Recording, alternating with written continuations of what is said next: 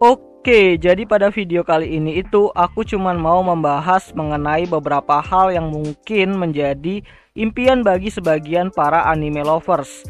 Ya, terutama untuk mereka yang sangat antusias terhadap sebuah serial anime yang sangat populer. Dan langsung sajalah mari kita coba bahas 5 hal yang menjadi harapan bagi para anime lovers di masa depan. Nah, yang pertama itu adalah tanggal rilis untuk season kedua dari serial anime Darling in the Frank dan No Game No Life. Bahkan sampai terkenalnya kedua judul anime di atas itu, bahkan bisa membuat seseorang itu menunggu hingga waktu yang cukup lama.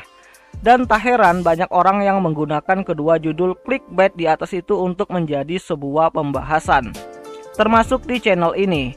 Jadi ya, apakah kalian masih berharap season kedua dari Darling in the Frank dan No Game No Life itu bakalan ada di masa depan?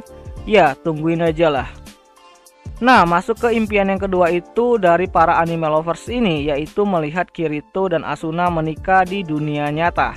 Ya, mungkin ini adalah sebuah impian yang lebih dikhususkan untuk para pencinta Iseo yang selama ini telah mengikuti serial dari Sword Art Online. Dan untuk impian yang ketiga itu adalah mengenai root happy ending dari serial Shigatsu wa Kimi no Uso di mana banyak dari para anime lovers ini berharap bahwa si Kaori dan Arima itu bisa mempunyai ending yang bahagia. Hmm, gelap kalau yang ini. Lalu masuk ke impian yang keempat itu adalah mengenai penayangan di pertelevisian Indonesia, terutama untuk penayangan anime di pertelevisian Indonesia. Ya, banyak juga yang berharap kalau di masa depan nantinya bakalan ada judul-judul anime yang kembali tayang di TV Indonesia. Ya, walaupun aku sendiri itu juga udah nggak nonton TV lagi sih. Dan untuk yang terakhir itu adalah mengenai episode terakhir dari anime One Piece.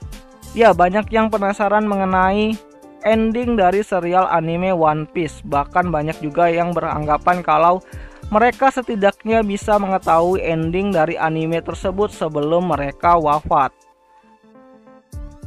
Jadi ya itu sajalah yang terlintas di kepalaku mengenai impian dari para wibu-wibu ini. Jadi ya jika ada yang ingin kalian tambahkan kalian boleh tulis sendiri di kolom komentar.